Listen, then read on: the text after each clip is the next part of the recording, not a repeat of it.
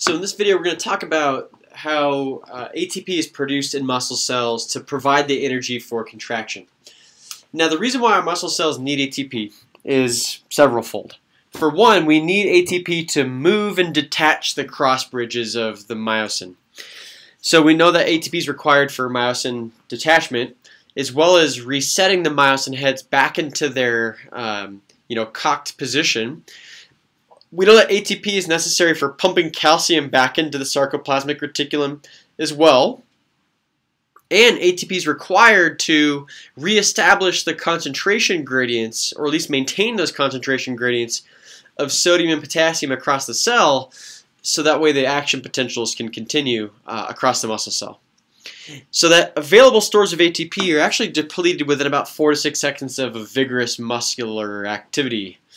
And um, and the reason why our cells don't have a whole lot of ATP, you know, within the cytoplasm is for one, these molecules are actually fairly unstable. Uh, ATP can spontaneously dissociate and break apart. And in that regard, you can lose this energy uh, if it's not used too quickly. So that we don't have a whole lot of stores of ATP within muscle cells ready to go. This is why they're depleted fairly rapidly um, in the early stages of muscle contraction. Now, we know that ATP is the only source of energy for contractile activities and therefore must be regenerated really rapidly. So the sources of ATP regeneration include things like phosphorylation by creatine phosphate, we have anaerobic pathways and aerobic respiration as well. So phosphorylation by creatine phosphate is essentially a unique molecule that you find within muscle fibers, and it basically donates a phosphate group to ADP, to instantly form ATP. And the enzyme that carries out the transfer of this phosphate is called creatine kinase. And so muscle fibers have enough ATP and creatine phosphate reserves to power cells for about 15 seconds or so. So once you run out of that, that free ATP within the first 5 to 6 seconds, ultimately what can happen is you can actually take creatine phosphate and phosphorylate ADP into ATP. And it's a nice source of, of uh, chemical energy during you know, you know, the early stages of a muscle contraction. And so just to summarize this chemical reaction, we have creatine phosphate, which is essentially a molecule that stores phosphate bonds for later use. And when ADP starts to build up in muscle cells, we can regenerate that ATP by directly phosphorylating ADP back into ATP. Um, and creatine can be used again and it's recycled again, uh, you know, after muscular activity as another source of uh, you know chemical energy if it's rephosphorylated under under times of excess energy. So aerobic pathways like glycolysis, I'm sorry, anaerobic pathways like glycolysis um, essentially don't require the use of oxygen, and so ATP can be generated by using the energy that's stored within the chemical bonds of glucose or sugar. And so the breakdown of glucose we call glycolysis. It's the first step in glucose breakdown does not require oxygen. That's why it's anaerobic. And glucose is broken down into two pyruvate molecules. Now, pyruvate molecules are normally sent to mitochondria, which they can then feed into, they're processed further, but then they feed into the Krebs or citric acid cycle. However, glycolysis itself, which occurs in the cytoplasm of muscle cells, or sarcoplasm, yields a net 2 ATP so that when oxygen levels are low, uh, you know, we actually can get a little bit of ATP from just glycolysis itself. Now, normally pyruvic acid enters mitochondria to start the aerobic respiration phase, which does require oxygen. However, at high intensity activity and when oxygen is not available, you know, and bulging muscles can press on blood vessels, which impair oxygen delivery. Ultimately, we have to rely on glycolysis to essentially um, you know, be a source of, of ATP for muscles.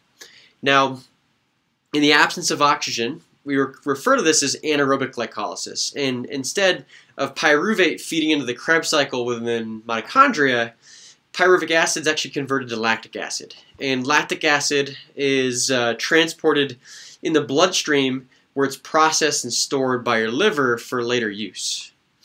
Now, um, what we find then is that this excess lactic acid from your muscles builds up in the bloodstream. It's used as a fuel by your liver, kidneys, and heart. And what's cool here is that lactic acid, yes, it could potentially harm your muscle tissue, but as long as it's you know sort of transported away towards the liver, kidneys, and heart, these organs can store that lactic acid or lactate and to convert it back into pyruvic acid or glucose for later use. And anaerobic respiration yields only about 5% as much ATP per glucose uh, as does aerobic respiration. However, it produces ATP much more rapidly, like two and a half times faster. You can get your your uh, ATP from glycolysis. So just to summarize glycolysis, which is an anaerobic pathway, we see that glucose breakdown in the cytosol or sarcoplasm here can yield a net 2 ATP molecules per glucose. And um, all of these reactions don't require oxygen. That's why we have a little X through the O2 here. Now, pyruvic acid, when it builds up, needs to be converted to lactic acid in order for this process to keep going. And this lactic acid is actually transported back into your bloodstream where it's actually stored and utilized by other organs for later use. Now, uh, this provides enough ATP for approximately, you know, the first, you know, 30 to 40 seconds of muscular activity, or slightly more as well, just depending on the amount of activity but it, you can't rely on anaerobic pathways for uh, you know long-term or long-duration muscular activities. So what we need then is aerobic respiration as well, and this produces about 95% of the ATP during rest to light moderate exercise. And although it's a slower anaerobic pathway, uh, we ultimately get a lot more ATP per glucose molecule.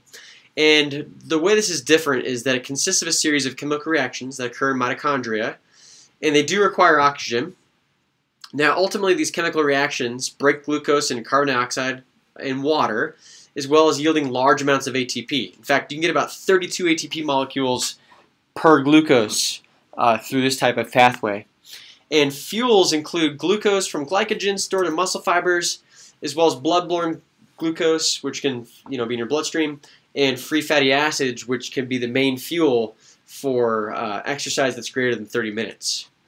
So just to summarize the aerobic pathway, we see that aerobic cellular respiration is where you have glucose from glycogen or your bloodstream is broken down from glycolysis into pyruvic acid. Now the glycolysis mechanism, which does not require oxygen, yes, this actually yields a net 2 ATP in itself. Now this pyruvic acid actually also continues on to mitochondria, and it can feed into the Krebs citric acid cycle. So same with fatty acids and amino acids. And this these uh, components that feed into the Krebs cycle um, are ultimately used to power a process known as oxidative phosphorylation, which can yield a net 32 ATP per glucose. So you can see that you can actually get a whole lot more ATP per glucose molecule under aerobic pathways than the anaerobic pathways and uh, the duration of energy provided is actually on the order of hours. So energy systems used during sports include both aerobic and anaerobic pathways. So the term aerobic endurance refers to the length of time muscles contract using their aerobic pathways, and this is actually you know going to occur during light to moderate activity, which can con continue on for hours, depending on how much glucose you have in your body. Now, the anaerobic threshold is the point at which muscle metabolism converts mostly to the anaerobic pathway. And so anaerobic thresholds can vary depending on the type of activity and the you know uh, other characteristics of your muscle cells. But what we see is a nice switch from um, different sources of ATP within muscles. So the first six seconds, ATP that's stored in muscles is used first and then ten, after about 10 seconds of uh, sprinting or so, or just you know high intensity activity, ATP is formed from creatine phosphate through direct phosphorylation. Later on, we find is you know within 30 to 40 seconds, glycogen that's stored in muscles can be broken down into glucose, which can be oxidized to generate ATP through anaerobic glycolysis. But due to a lack of, um, sorry, due to a buildup of lactic acid from anaerobic metabolism, you know this lactic acid can can uh, start to form acidosis within the bloodstream. And um, this is example of short duration, high intensity exercise, where we switch to an example of uh, you know anaerobic metabolism at some point during exercise. Now this differs from prolonged duration exercise like you know just jogging, which can occur for hours, where if you can jog slowly enough to where you don't run out of oxygen within your muscle tissue, we can see that ATP can be generated by the breakdown of several different nutrient sources.